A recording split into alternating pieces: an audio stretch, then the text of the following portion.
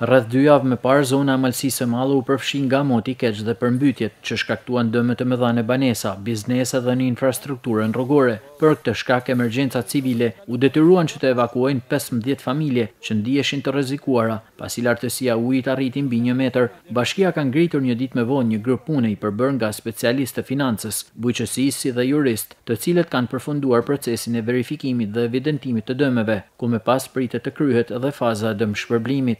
Sot pothuajse e kemi myllë verifikimin dhe evidentimin e dëmeve në gjithë banorët që kanë pas probleme të tilla dhe tani jemi në, si me thanë, në fazën e funit në llogaritjen ose në përllogaritjen më mirë të dëmeve për secilin familjar për të nxjerrë dhe një shifër të përafërt për gjithë dëmin e shkaktuar si bashki. Sipas emergjencave civile janë evidentuar në total gjashtëdhjetë banesa, bashkë me biznese të dëmtuara nga përmbytja. Deri tani janë rreth gjashtëdhjetë familje që kanë pas dëmtime, kryesisht shtëpi banimi, biznese edhe dëmtime tjera në infrastrukturën rrethore te banesa, kryesisht mure, rrugë, hyrje, porta etj etj. Për rrugën e Gradecit, kryetari i bashkisë ka ngarku sektorin e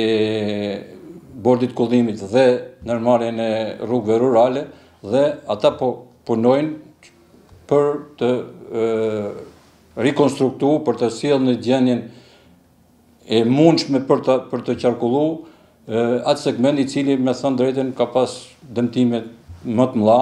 Reshjet intensive dhe dalja nga shtrati i Përroit të Thatë, solli situatë kaotike në rrugë, dëme të mëdha u shkaktuan në banesa dhe biznese, ndërkohë që qendra e qytetit të Koplikut dhe zonës së Bajzës ka qenë nën pushtetin e ujit për disa orë.